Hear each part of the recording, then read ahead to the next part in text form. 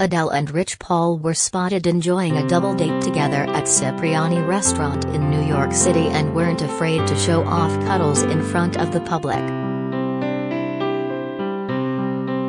Adele, 33, and Rich Paul, 39, seemingly confirmed their suspected romance with their latest fun outing.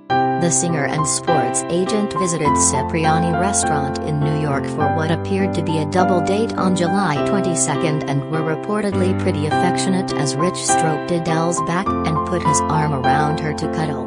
They were also reportedly playful when Rich went to stroke the Hello crooner's hair and she wagged a finger at him. Check out the pics here. A black jersey and jeans during the outing as well as a black face mask while Rich appeared to be in a long-sleeve button-down top and black pants. They were photographed while standing next to chairs and appeared as relaxed as could be. This latest outing marks the first time Adele and Rich have been photographed showing off PDA. The potential new lovebirds sparked rumors of a romance when they were seen enjoying time together at the NBA Game 5 Finals between the Milwaukee Bucks and the Phoenix Suns in Arizona on July 17. They've also reportedly been spotted at several events in Los Angeles, where they both have homes. Related Gallery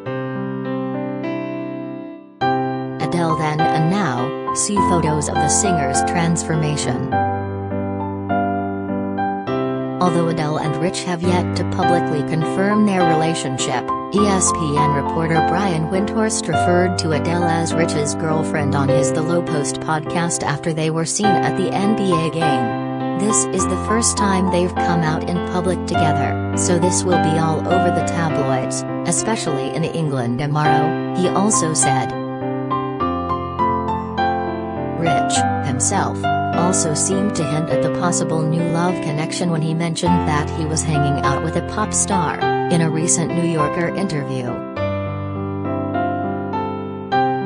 Before Adele and Rich, who was NBA star LeBron James' agent, started hanging out, the former made headlines for her incredible 100 pounds weight loss and her 2019 split from her husband Simon Konecki, 47, whom she married in 2016. The former couple share son Angelo, 8, and had been together for more than seven years before their divorce was finalized this year.